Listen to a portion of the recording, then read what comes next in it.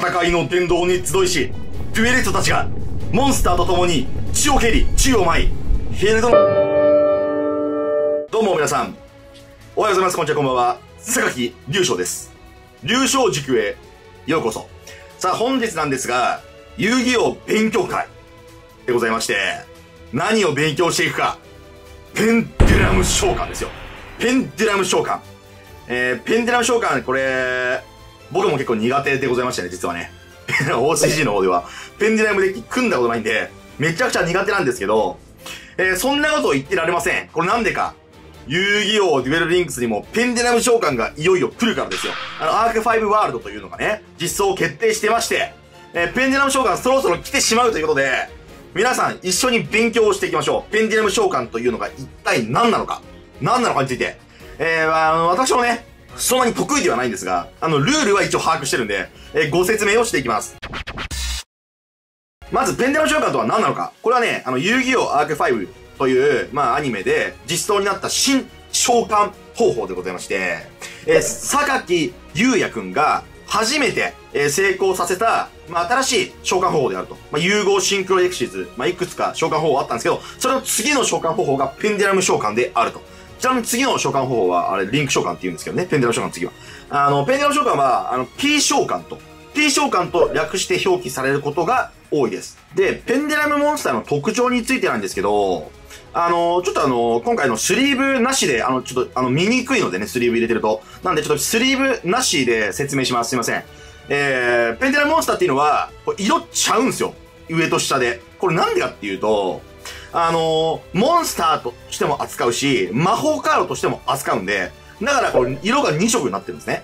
で、これあのーめちゃくちゃテキストいっぱい書いてあるんですけど、これ何かっていうと、この真ん中のこの、この真ん中のこの、ここの効果、これが、えーペンデュラム効果でございまして、まあ、要は魔法カードとしての効果ですね。で、この下のこの、このテキストが、これが下の方が、これがモンスター効果。だから、モンスターとしての効果と、ペンデュラムとしての効果があると。で、さらに、えっと、ペンデラムスケールっていうものがありまして、ここにね、4、4となってる、これ。これがペンデラムスケール。これちょっと後で説明します。今は、えーモンスターとしても扱うし、魔法カードとしても扱うよという、まあ、2種類の役割があるカードだよっていうことを覚えておいていただければと思います。で、じゃあ実際にペンデラム召喚どういう風にやるかっていう、えー話なんですけど、あのすいません、ラッシュデュエルのフィールドしかなかったんで、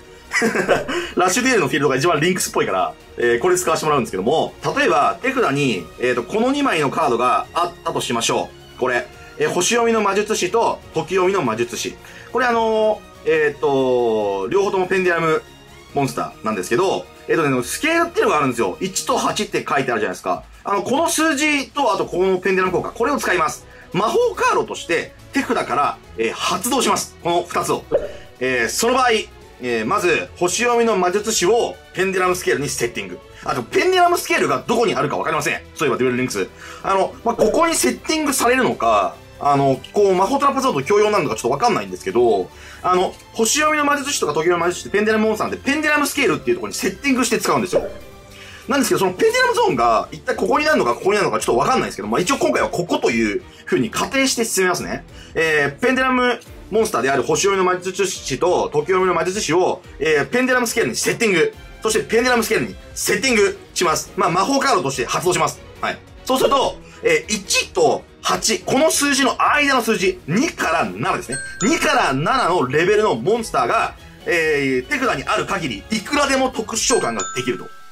いうことです。例えば、えー、オットアイズ、ペンデラムドラゴンと、えー、レッドアイズ、ブラックドラゴンと、えー、ブラックマジシャンが一応ね、これ3枚一応今のところ手札あったんですけど、これがあったとしましょう、手札に。そうすると、星読みの魔術師をペンデラムスケールにセッティング、時読みの魔術師をペンデラムスケールにセッティング、これで2から7のレベルの間のモンスターが同時に召喚可能なんですよ。揺れろ魂のペンデラム天空に描け光のアークペンデラム召喚おーこれがペンデラム召喚です。あの、同時に出せるんですよ。一気にね。あの、その間の数字であれば一気にドンって出せる。大量展開ができる。これがペンデラム召喚です。楽しそうでしょ？ちなみにスケールはね、あのね、どっちにセッティングしてもいいです。これ1、8ってなんですけど、これ別にこれこっち1でこっち8でもいいです。これはまあどっちでもいい。で、あの、特殊召喚制限がなければね、あのいっぱい展開できるんで、まあ、何体展開してもいいっていう感じですね。まあ、デュエルリンクスは最大3体だと思います。はい。で、あの、ペンデラム召喚した後に、あのシンクロ召喚とかエクシーズ召喚とかしてもいいので、まあ、例えばここ今、あの、レベル7と7なんですよ。だから、7と7でエクシーズ召喚って言って、えー、こういう、ペンデラム召喚した後にこういうエクシーズ召喚とかもできます。はい。だから、えっ、ー、と、展開した後に特に制限とかが効果でかかってなければ、もうなんかいくらでもなんかやりたい放題みたいな感じですね。で、えっ、ー、と、こっからはですね、ペンデラム召喚の、まあ、使用上の注意点について、結構たくさんあるんで、説明していきたいんですけど、えー、まずですね、えっ、と、ペンデラムモンスターたち、これは、えっ、と、永続魔法カード扱いなので、破壊されたりとか、まあ、バウンスされたりとか、されない限りはずっとフィールド上に残り続ける。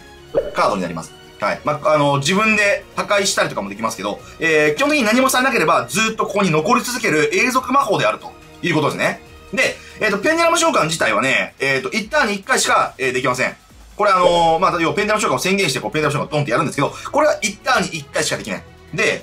一番重要なポイントとしては、まあ、ペンデラムモンスター今3体いるんですけど、これが、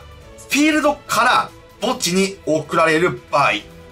ばですね、あの、相手がライトニングボルテックスを打ってきましたと。ライトニングボルテックスでフィールド上の全てのモンスターが破壊される表側表示の。だから、ライトニングボルテックスで全部ペンデラモンスター破壊されるんで、ここが破壊されて、墓地に行くんですけど、普通だったら、フィールドから墓地へ送られるペンデラモンスターは墓地に行かず、エクストラデッキに表側で置くという仕様になってます。これはルールです。こういうルールです。はい。なので、えー、っと、フィールドからだけですね。フィールドから墓地を送られる場合だけ。例えば、手札から墓地を送られる場合、まあ、あのー、ハンデスとか食らって、今手札にあるこのモンスターが墓地に送られる場合、これは普通に墓地に行きますし、あとあの、除外される場合ね、えー、フィールドから、まあ、例えばこれ、あの、魔導人とかの効果で、あの、エヴァリーとかの効果で除外されますっていう場合は、このモンスターが普通にフィールドから除外されるだけなんですけども、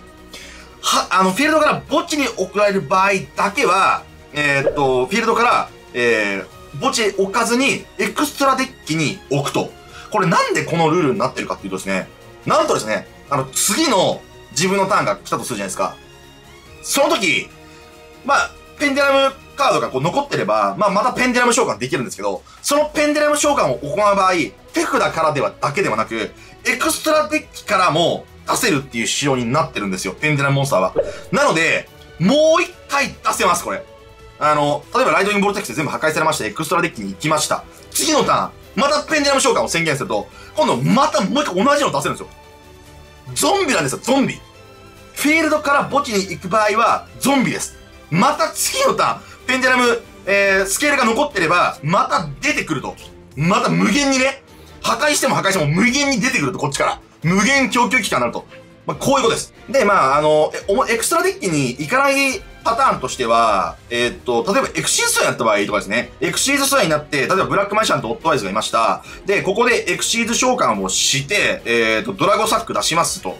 で、ドラグサック効果使って、えっ、ー、と、トークン沸かせますっていう効果を使ったとして、えー、これ、オッドアイズペンデラムドラゴンは、これ、フィールドから墓地に行くことにはならないんですね。エクシーズモンスターって、あのー、素材が、フィールド上ではない、なんか、空間にあるっていう採点になってるんで、これフィールドから墓地に行ったわけじゃないんで、普通に墓地に行きます。あとね、あの、召喚無効とか、例えば、えー、っと、相手が、えー、っと、神の宣告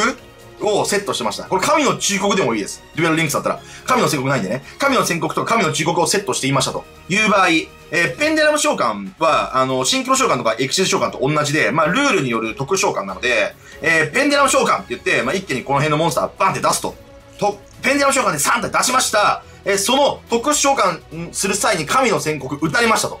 この場合、全部ちなみに無効になるんですよ。特殊召喚。3体分全部無効になるんで、まあ、全部、えっ、ー、と、墓地に行きます、これ。これあの、特殊召喚に成功していればフィールドから墓地に行くことになるんで、あのー、エクストラデッキに置かれることになるんですけれども、あのー、フィールド上に、あの特殊召喚に成功しないで、フィールド上に行った扱いになってないんで、なんかその、フィールドの前の空間にいるみたいな感じですね。手札とフィールドの間みたいな空間にいるみたいな最低になってるんで、え、なので、え、ここで、えー、神の忠告と神の宣告打たれると、フィールドから墓地に行った最低になってないから、エクストラデッキに行かずに墓地に行くみたいな。まあ、こういう最低になっております。あと、ちなみに、あのー、ペンデラムスケールにセッティングするよっていうこの行為。これは永続カード、永続魔法カードの発動なんで、えー、例えばそれを神の忠告とかも、あの、無効にできます。例えば、あの、星読みの魔術師、えー、を、えー、ペンデラムスケールにセッティング、で、時読みの魔術師をセッティングしました。この発動に対して神の、えー、宣告とかはできるんですよ。で、この場合も、あの、フィールドと、あのー、手札の間にある最低なんで、これフィールドから墓地行ったことにならないんで、これも、あのー、墓地に行きます。普通にシンプルに。ここ、これがこうな、ここに行くんじゃなくて、X だけに行くんじゃなくて、えー、これがここになると。いうことですね。神の宣告とか神の忠告とか、無効系の、発動無効系のカードで無効にさせた場合は。で、ペンデラム召喚は、あの、条件による、まあ、特殊召喚。なので、新居召喚とか、あの、エクシー召喚と一緒で、ペンデラム召喚っていうと、これはあの、新居召喚とかエクシー召喚と同じなので、チェーンを組みません。特に。あの、なんで、えー、っと、ペンデラム召喚自体にチェーンを組むことは不可能。だから、ペンデラム召喚自体を阻止したいのであれば、えー、っと、このスケールにセッティングする、この行為が終わった後に、例えば、まあ、サイクロン打ったりね。まあ、サイクロン打って、まあ、これを破壊したりとか、えー、それから、えー、もう発動自体を、なんか神の宣告とかで無効にするとか、あとコズミックサイクロンで除外するとか、まあ、こういうことすれば、一応ペンデラムスケールがもう、あの、存在しないっていうことになるんで、えー、ペンデラム召喚はできないっていう、まあ、そういう阻止の方法が、まあ、主になんじゃないかな。あと、ローチとかね。あの、えー、っと、インヴェルズローチ。インヴェルズローチとかだったら、えー、っと、レベル7、あのー、モンスターの特殊召喚とかは普通に無効にできる。オッドアイズペンデュラムドラゴンとか特殊召喚できなくなっちゃうね。これね。特殊召喚って言ったら無効にされてバーってやってきて。あと、あの、底なし落とし穴とか 底なし落とし穴とかされた場合は、あの、ちょっとカードなかったんだけど、底なし落とし穴されました。ペンデラ召喚しました。底なし落とし穴発動されましたっていう場合は、えー、全部が裏側になります、これ。すべてのモンスターが裏側になってしまうっていう感じですね。はい。これ注意しましょう。あと、デュエルリンクスで起こり得る状況としては、うんと、例えば、あの、相手のフィールド上に精霊竜がいますっていう状態ですね。精霊竜がいる場合、これ2体以上の特殊召喚できないんですよ。なんで、ペンデラム召喚って言って、ペンデラム召喚できるモンスターが3体いたとしても、1体しか、えー、特殊召喚ができないよっていうのとかは起こり得るかもしれないね。で、あとは、あの、相手の場にね、あの、ブラックマジシャンがいるとして、ブラックマジシャンがいたとして、えー、ナビゲート墓地にありますと。で、ナビゲート除外すると、あの、魔法カードの効果無効にできるんで、まあ、ペンデラム効果無効にできたりするんですけど、スケール自体は無効にならないんで、この1と8ってこのスケール自体は無効にならないんで、えー、っと、ペンデラム召喚をするだけだったら別に、えー、シンプルにこれペンデラム召喚っていうことはできます。ただし、ペンデラム効果だけは無効になります。うん、まあそんな感じかな、ペンデラム召喚の注意点としては。はい。で、あの、ちなみにあの、バニラの、あの、ペンデラムモンスターとかもいて、あの、ペンデラム効果は別になくて、あの、フレーバーテキストとペンデラム効果持ってるっていう、これバニラモンスターみたいなのもペンデラムモンスターには言いますね。はい。うん、なんかちょっと、なんか説明足りないところもしかしたらあるかもしれないけど、とりあえずこんくらい覚えておいていただければ、ペンデラム召喚、まあ一応できるんじゃないかなと思うんで、皆さんもね。えー、ぜひね、遊戯王アークファイブのアニメ見ていただいて、あの、ペンデラム召喚学んでいただければなと思います。えー、148は全部ありますけれども、あの、もしね、あの、めんどくさって思う人は、あの、私あの、ストーリーの解説とキャラクターの解説の動画出してますんで、よかったらそっちを見てください。はい。というわけでまた次の動画でお会いしましょう。以上、榊、優勝でした。でも、楽しかっただろ？